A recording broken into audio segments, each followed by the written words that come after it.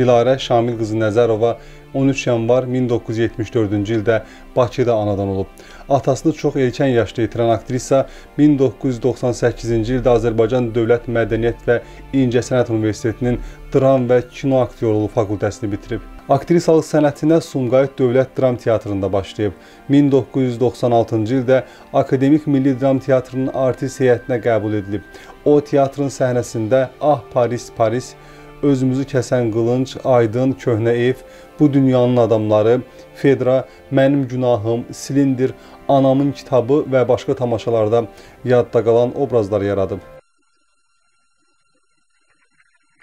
Teatr tamaşaları ilə yanaşı aktrisa İtkin Gəlin, Ağatda oğlan, Yük, Kiçik Leytinant, Bağdada Putyovka var, Cavid Ömrü, Gürzə, Bir ailəm var adlı film və seriallarda müxtəlif rollar da ifa edib.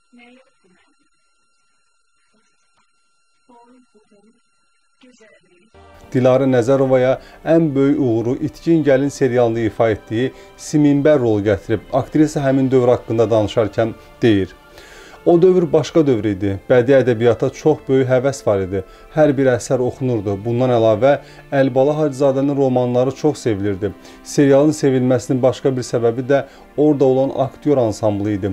Bu seriala Kamal Xudaverdiyev, Məlikə Əsədova, Hicran Nəsirova, Laləzar Mustafayeva, Zemfira Nərimanova kimi aktyor və aktrisalar çəkilmişdilər. Rejissor Lütfü Məmmədbəyov gənclərə çox inanırdı. Elə bunun nəticəsi idi ki, Kazım Həsənquliyev, Eyşən Rüstəmov və başqa gənclər bu serialdan sonra tanınmağa başladılar. Dilarə Nəzərova bir dəfə ailə həyatı qurub. Bu evlilikdən onun iki qızı dünyaya gəlib. Ancaq ailə həyatında yaranan müəyyən problemlərə görə aktrisa həyat yoldaşı ilə yollarını ayıraraq qızları ilə birgə yaşamağa başlayıb.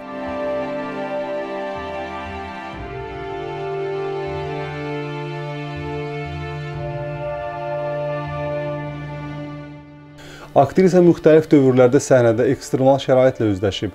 Bir dəfə Dəlilər və Ağıllılar tamaşasının qastrol səfəri zamanı İsmaildə olanda o tamaşadan bir gün qabaq tut ağacından yıxılır və cərrahi əməliyyatına məruz qalır. Əməliyyatın səhəri günü bir əli gipsdə tamaşadakı rolunu oynayır. İkinci dəfə isə o bir nağıl tamaşasında səhnədə küpəgirən rolunu oynayan zaman işıqlar keçir. Aktrisa vəziyyətdən çıxaraq balaca uşaqlara işığı sehirlə söndürdüyünü deyərək roluna davam edir. Aktrisanın çalışdığı müddət boyu aldığı ən böyük qonorar çəkildiyi seriallardan birindəki qonorar olub 300 manat. Dilarə Nəzərova 2008-ci ildə Azərbaycan televiziyasında yayımlanan Gürzə serialında canlandırdığı fahişə qadın obrazı açıq-saçıqlı ilə diqqət cəlb edib. Bu barədə aktrisaya sual verilərkən deyib.